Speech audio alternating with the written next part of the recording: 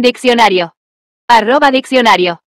El desuso es el estado en el que algo deja de ser utilizado o empleado, ya sea por obsolescencia, cambio de necesidades, avances tecnológicos o preferencias sociales. Cuando un objeto, práctica, palabra o costumbre cae en desuso, se vuelve menos relevante o funcional en la vida cotidiana, quedando relegado o sustituido por alternativas más modernas o eficientes. Este proceso puede ser gradual y está asociado al paso del tiempo y la evolución cultural, tecnológica o social.